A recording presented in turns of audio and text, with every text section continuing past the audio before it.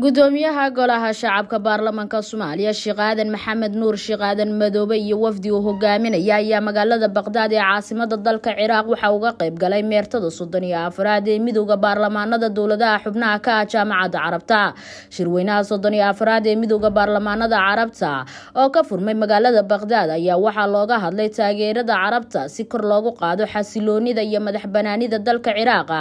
iyadoona madaxda ay isla eegeen guddiga fulinta go'aamadii soo baxay shirweynihii soddon iyo labaada iyo shirweynihii soddon iyo saddexaad ee degdega ahaa. Arrimaha maaliyadda xisaabta kama dambaysta ee sannadkii labada kun laba iyo labaatankii iyo barnaamijka qabyo qoraalka barnaamijka shaqada. Waxaa intii uu shirka socday madaxda ka qayb gashay shirkaasi qaarkooda ay soo jeediyeen in la taageero codsiga ah in qodobo degdega lagu daro ajendayaasha golaha guud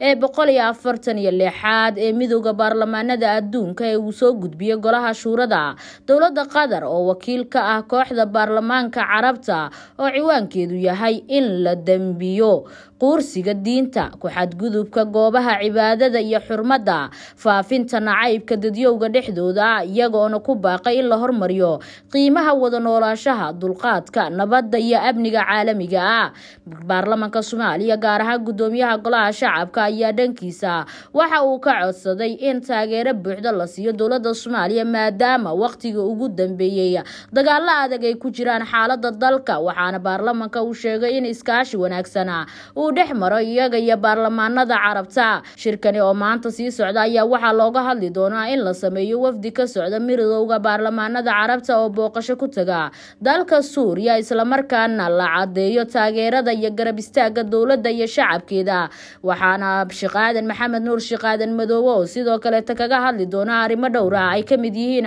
xaalada dalka soomaaliya ku sugan tahay iyo sidoo kale taageero caalamiya si ay u heli lahayd. Maryan cali nuur maarisa c b a t v muqdisho